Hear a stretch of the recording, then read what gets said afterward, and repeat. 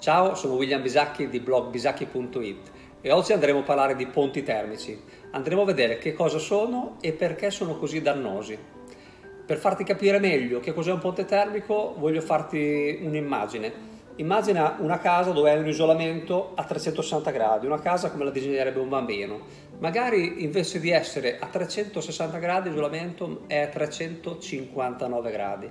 Quindi in quel grado ho un ponte termico, ho un punto, una via di fuga per il calore, cioè proprio una corsia preferenziale per il calore. Te lo faccio capire ancora meglio guardando questa pietra. Questo immagina che sia la banchina che c'è sotto la finestra. Questo non è un materiale isolante, che sia una pietra, che sia un granito, che sia un marmo, è un materiale conduttore. Quindi se questo è all'interno della mia casa, il calore che ho all'interno prenderà questo punto come un'autostrada per uscire verso l'esterno.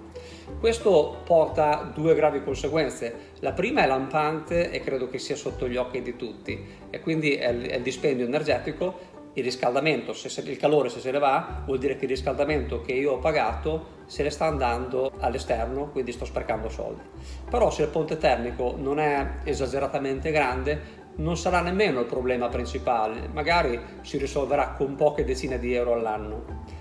Il problema del ponte termico principale è quello legato alla muffa e alla condensa, perché in questo punto qua, all'interno casa, avrò un punto più freddo, quindi muffa e condensa saranno quasi garantite, soprattutto se tutto il resto della casa è ben isolato.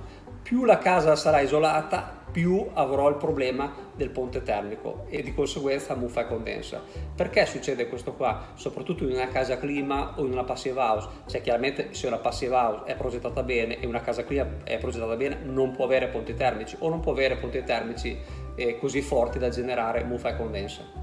Succede questo perché quando io alzo la prestazione di alcuni elementi e un elemento rimane indietro, quell'elemento inizia a essere un punto debole. Quello ad esempio che ieri succedeva nelle case anni 70, che tutt'oggi sono, è pieno patrimonio italiano di quelle case, dove è tutto un ponte termico, se io penso alla casa dei miei genitori che ancora non l'hanno isolata, hanno solamente gli infissi con i vetri doppi, però le pareti, i pilastri in cemento armato, le travi, sono tutti ponti termici non trattati, però lì è tutto scarso, le prestazioni sono basse, quindi il ponte termico non crea danni.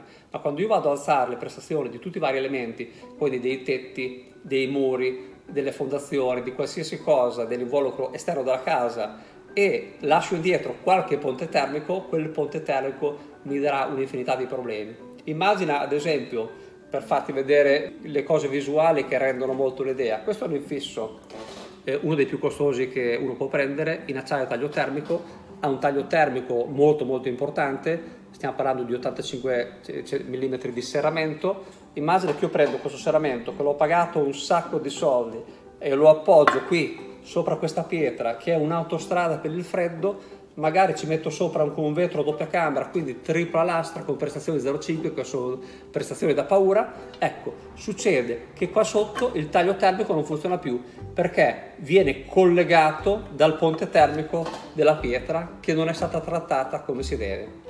Ci sono tantissime possibilità per trattare i ponti termici, basta sapere progettare bene, basta fidarsi di un professionista oppure basta utilizzare il sistema Bisacchi per quello che riguarda le finestre. Per il resto della casa basta fidarsi a un progettista in gamba.